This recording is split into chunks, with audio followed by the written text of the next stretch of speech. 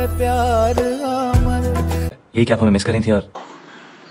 कभी प्यार कर ही नहीं सकता। आपका सबसे पसंदीदा ड्रामा इश्क मुर्शद को आपकी जानिब से बहुत ज़्यादा प्यार मिल रहा है, जबकि इस ड्रामे को ना सिर्फ़ पाकिस्तान बल्कि इंडिया में भी बहुत ज़्यादा पसंद किया जा रहा है। चलिए बात करते हैं इस ड्रामे में नज़र आने वाले एक्टर बिलाल अब्बास के बारे में। बिलाल अब्बास के एक्टिंग करियर के हवाले से बहुत सारे सवाल किए जा रहे हैं। लोगों की जानिब से ये पूछा जा रहा है की क्या बिलाल अब्बास किसी प्रोड्यूसर या किसी डायरेक्टर के बेटे हैं? तो इसका जवाब है नहीं। बिलाल अब्बास किसी प्रोड्यूसर या डायरेक्टर के बेटे नहीं है। बिलाल अब्बास ने इक्कीस साल की उम्र में अपनी एक्टिंग शुरू की और इंडस्ट्री में आने के लिए बिलाल अब्बास ने कई साल धक्के खाए। बिलाल अब्बास ने अपने एक इंटरव्यू में बताया कि वो तीन साल तक प्रोडक्शन हाउसेस के चक्कर लगाते रहे। कोई डायरेक्टर उनसे मिलने से इनकार कर देता और कोई उन्हें घंटों इंतज़ार करवाने के बाद रिजेक्ट कर देता।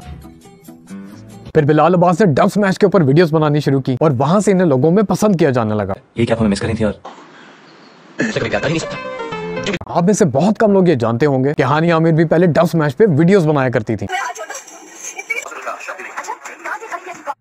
और हानिया आमिर भी डब मैच से मशहूर होना शुरू हुई थी। बिलाल अब्बास ने मजीद बताया कि उनकी पहली कमाई थी सत्ताईस सौ रुपए। ये सत्ताईस सौ रुपए उनको एक दिन के काम के दिए गए थे। मजीद बिलाल का ये कहना था कि जब उन्होंने पहली बार अपने आप को स्क्रीन पे देखा तो उन्हें अपने आप से नफरत होने लगी। क्योंकि जिस म्यार का काम उन्होंने सोचा था, उतना अच्छा वो ड्रामे में परफॉर्म ना कर पाए। बिलाल अब्बास के बारे में एक बात बहुत ज़्यादा मशहूर है कि वो लड़कियों से बहुत ज़्यादा शर्माते हैं। बिलाल अब्बास का डेब्यू ड्रामा था साया दीवार भी नहीं, जो कि 2016 में रिलीज़ हुआ था। और इस पहले ड्रामे से बिलाल अब्बास को बहुत ज़्यादा पसंद किया जाने लगा। इनका दूसरा ड्रामा था कुर्बान, जो कि 2017 में रिलीज़ हुआ और इसके बाद बिलाल अब्बास ने हिट ड्रामों की लाइन लगा दी। आतिश इश्क बेखुदी, रस्म दुनिया और अंग्रेजा, चीख, प्यार के सदमे, दोबारा और इसके बाद इश्क मुर्शद जिसने सारे रिकॉर्ड तोड़ दिए। बिलाल अब्बास की ज़िंदगी के हवाले से आप क्या राय रखते हैं, कमेंट सेक्शन में आके ज़रूर बताइएगा। चैनल पर नए हैं तो चैनल को सब्सक्राइब करके बेल आइकन ज़रूर एक्टिव कीजिएगा, ताकि हर आने वाली नई वीडियो आप तक टाइम पर पहुँचते रहे। अपना और अपने प्यारों का ख्याल रखिएगा। अल्लाह हाफिज।